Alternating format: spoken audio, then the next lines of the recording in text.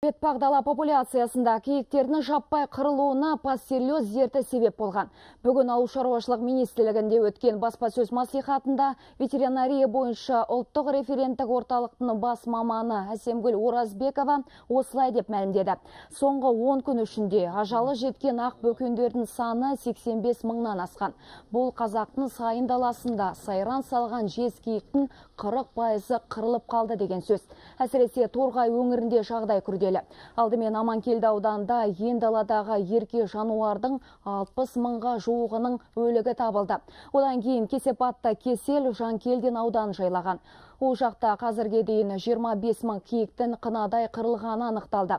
Сондай ақ Ақмола, Ақтөбе облыстарында бірнеше мың бас киік өлген. Қазір сол аумақтарда төтенше жағдайдың зардабын шою жұмыстары жүргізілуде.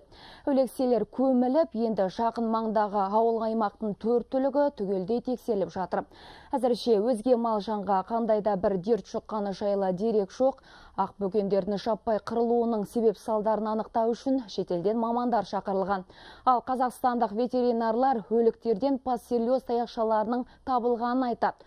Үш жыл бойы мемлекет қаржысына зерттеу жұмыстарын жүргізген ғылыми зерттеу институтының биологиялық қауіпсіздік бөлімінің жұмыс нәтижесі көңіл көншітпейді дейді ауыл шаруашылығы министрінің орынбасары Ерлан Нысанбаев сол институтке ақша бөлініп үкімет тарапынан жетпіс миллион ақша он бір он екі он үш он төртінші жылдары зерттеу жұмыстары жүргізілді. Үш жыл зерттеу жүргізді бірақ бір ауыз толтырып айтатындай біз соның бір нәтижесін ала алмадық.